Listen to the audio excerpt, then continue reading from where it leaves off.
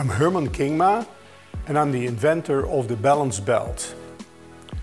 I designed the balance belt for people with very poor vestibular organs. When people have no vestibular organs, they find it very difficult to walk and to have a good vision while they are moving.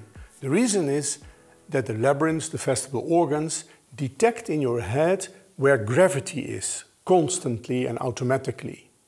And when you lose those organs, you don't feel it so precisely anymore. So you are at risk to fall and you have much more problems to walk straight on. So I designed then the balance belt which is provided with a sensor that detects where gravity is and then results in activation of small vibrators around your waist. So when you move forward, you get a small vibration in the front. When you move backwards, when you tilt backwards, you get vibration on the back and on the side and on the side. So by that, you automatically feel again where gravity is and the brain starts to use that in an automatic way to improve your balance and gait. And by that, your balance becomes better. The chance to fall will decrease and everything becomes more automatic. Now I'm going to explain to you how you should use the balance belt. So number one is, when you look at the belt, you can see on the top of it, of this button, that there is a small lead. And that is something that you hold on top of it and the knot on the left side. So now you put it around your waist and then you attach like this. So when it's firmly attached around your waist, it makes good contact with your body so that you really feel the vibrations. So it's very important to wear a very thin t-shirt, also to protect, of course, the belt a little bit against sweating and things like that but to make sure that there is a good contact and that you really feel the vibrations. Now you can place the belt at different places. You can put it lower or higher. Doesn't make a big difference. But of course, don't put it here over a normal regular belt because then you don't feel the vibrations. Don't put it over the top of your trousers because again, there the tissue is a little bit thicker and you will find it more difficult to feel the vibrations. If you have a big belly, then generally it's better to put the belt on top a little bit higher so that, doesn't, that it doesn't slip away. Okay, when you have positioned the belt in the right way, we can start to activate it. So number one is you push on the button here on the top and you push long until you see the blue LED flashing and then you feel the vibration going around you. Then you release the button.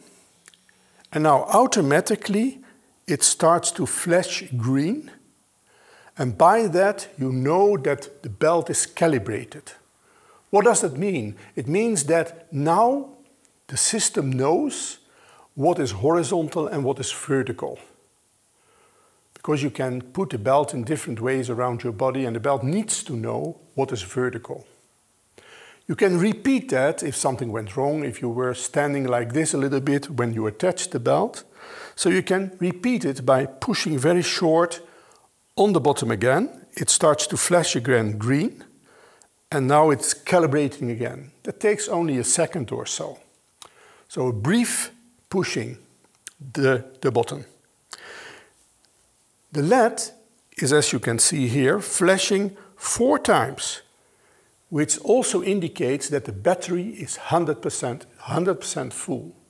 When it flashes only three times, it's 75%. And two times is 50% and one time, as you understand, 25%. So when it's flashing only one time, take it off, switch it off and put it on the charger. I will show you later how to do that precisely. So then it can be recharged, takes a few hours, five, six hours, and then you can use the belt again for about 16 hours or something like that.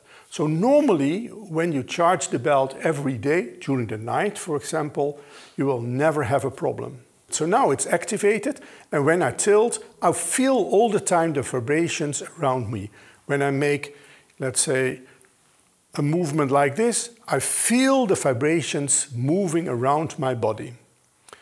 It's impossible to make the belt silent all the time, almost impossible.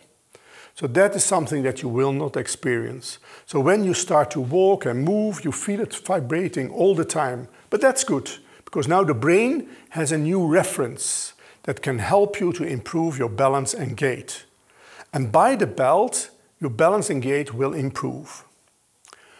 Don't pay attention to the vibration, because then it becomes disturbing.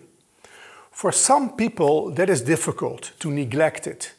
Also, it may be a small sound that you can hear because vibration is also sound. Yeah, that's a compromise between you need to feel it and you might hear it a little bit. But don't pay attention to it and most people will in a few days learn to walk around without paying too much attention to it. Now, you can switch the belt off at the end of the day, for example. Again, you push long, it starts to flash in blue, and you don't feel any vibration anymore. So remember, switching on is always pushing long until it starts to flash and you feel the vibration. It makes a round, 360 degrees, then it stops it calibrates automatically, green flashes, also indicating the status of the battery. I can recalibrate by pushing short. If I push long, automatically it will be switched off. Now I'm going to demonstrate how you can charge the battery in the belt. So first of all, you make sure that the belt is off, so it doesn't work anymore. I detach it and then if you look carefully, you can see the connector here of the USB-C. So you take the cable and the charger, you connect the cable with the charger here, you put it on the power, and what you can see is that the LED is activated, indicating that the battery is charging takes about five to six hours before it's fully charged. It keeps on in the same color, it keeps on being illuminated all the time, so it doesn't indicate when it's full. After five, six hours, just detach it. And then the battery will be fully charged.